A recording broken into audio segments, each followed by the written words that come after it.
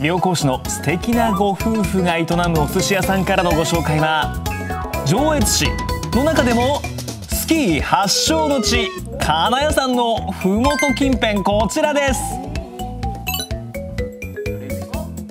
レルヒさん次はこちらです。金谷山のふもとお店というより旅館でした。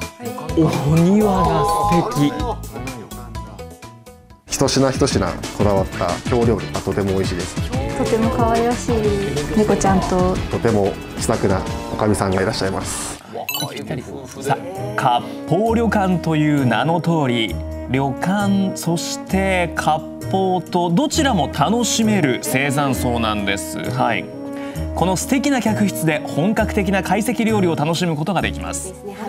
もう目にも鮮やか素敵なお料理。これどういったお料理ですか？私はあの京都の方でちょっと修行させていただいてましたので京風の懐石料理となっております。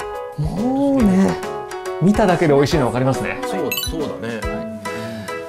さあ京都で400年ほどの歴史を誇る老舗料亭で修行したという小菅さんこのおやお宿の3代目ですそして奥様は福岡から新潟にやっていらっしゃいました女将の恵子さん。そう福岡ご出身なのじゃあ先生こちらから。いただきますいいただきますさあ色とりどり春らしい八寸美しいでしょこの季節感が。すごいね。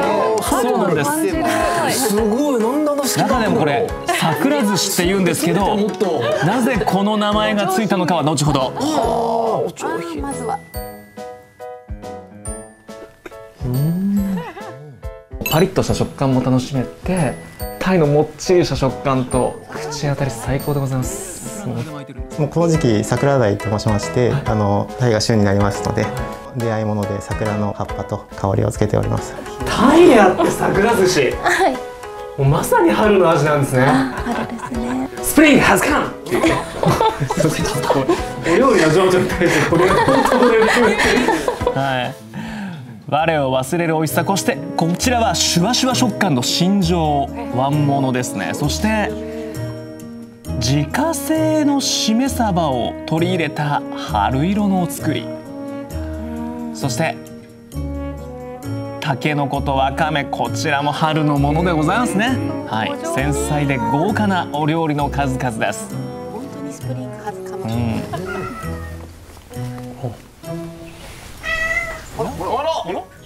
もう美味しすぎて猫になっちゃいそうですね。ありがとうございます。声のむしろどこにあ猫ちゃんだ。お邪魔します猫ちゃんはお名前は？おとらちゃん。はいさあこちらの旅館なんとペットも OK です。トラちゃんに会いに来るお客様もいらっしゃるんだとか。大歓迎です。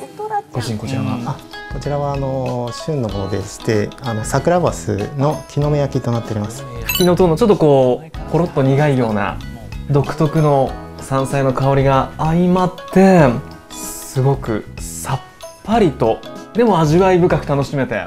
これこのタイミングでご飯いただきたいなってお客様あのもちろんいらっしゃいます、はい。なのであのお焼き物をあのお出ししたタイミングでお酒飲まれてない方にはあのお食事よかったらお持ちしましょうかって。完璧です、お聞きしてお出ししてます。欲しい時に欲しいものいただけるんですねさすが。最初からでもそうなんです。